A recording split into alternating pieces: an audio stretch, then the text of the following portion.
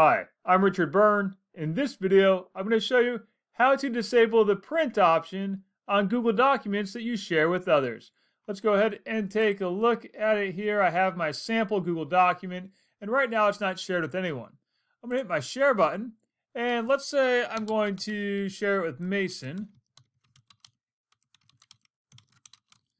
And before I share it, right now he's an editor. I'm going to make him just a viewer or maybe just a commenter.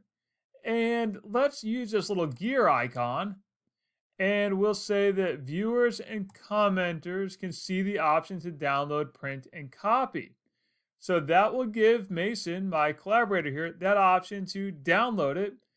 I'm going to say no, he can't download it, print it, or copy it. So now I have him as a commenter. I know he can't print it, copy it, or download it. And I'm going to send this off. Maybe I'll write a little note like, please take a look and add your comments before Tuesday's meeting. And so I know Mason can add those comments, but he's not going to be able to print out the document. So that's how you can prevent your collaborators from printing or downloading your shared Google Documents.